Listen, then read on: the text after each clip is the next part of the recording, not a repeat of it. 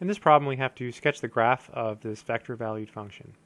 So to do that, it might be easier to first write this in rectangular form. So this here is your x, and this here is your y. So we'll start by setting x equal to cosine theta, and then setting y equal to 8 sine theta. And whenever you have like a cosine and a sine, the idea is to solve for the trig function and then use an identity. So here we're good. We have x equals cosine theta. Over here we should divide by 8 to solve for the sine function. So we have y over 8 equals sine theta. So now what we do is we use the identity that says sine squared theta plus cosine squared theta is equal to 1. So sine squared will just be this y over 8 squared. So when you square the y, you're just going to get y squared. And then when you square the 8, you're going to get 64. Plus cosine squared, well that's just going to be x squared. And what we're going to do is we're going to write it over 1. And you'll see y in a minute. And this is equal to 1. So this is the graph of an ellipse. Recall if you have a plus sign here and these numbers on the bottom are different, it's an ellipse.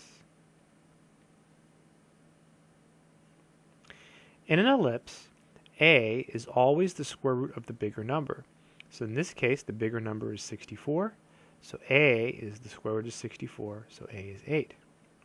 b is going to be the square root of the smaller number, so b is 1. Again, in an ellipse, a is always the square root of the bigger number. So let's go ahead and graph this now. So because the bigger number is under the y, we go up and down by 8. If it was under the x, we would go left and right by 8. So the bigger number is under the y, so the major axis is vertical. So we go up and down by 8. So there's an 8 here, and there's an 8, 8 here. So the center here is 0, 0. So from the center, we would go up and down by 8. Then we just go left and right by b. So I'll put this here, and put this here. This will be 1 and negative 1. Then you connect the dots, and you make the shape of the ellipse. Okay. So again, in an ellipse, a is the square root of the bigger number. Because the bigger number is under the y, we go up and down by a. If the bigger number was under the x, like if we had a 64 here instead of a 1, then we would go left and right by 8. All right, the last thing to do is the orientation. So I'm going to show you how to do that. So let me come over here. So basically you can make a table like this. Theta, and then here I'll call this x, and here we'll call this y. So this is our x, and this is our y right here. So we need to pick some values in increasing order. Let's pick nice numbers. How about 0? And how about pi over 2? So if you plug in 0 for cosine, we get cosine of 0, which is 1. Plug in 0 for sine, you get sine of 0, which is 0. So we're here. This is the first dot. This corresponds to theta equals 0. So when theta is 0, we have a vector that starts at the origin, and its terminal point is right here, and it's the yellow dot.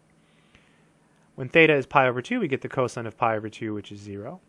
Sine of pi over 2 is 1, so we get 8 times 1, so we get 8. So now we're up here.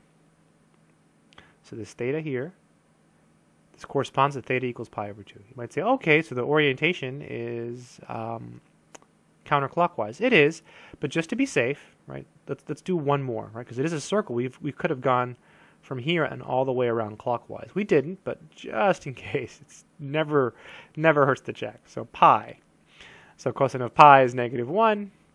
Sine of pi is 0, so we get 0. So now we're here. So this corresponds to theta equals pi. So you just always do it in increasing order. And then look, now you see the way, the direction is this one. So there's the direction.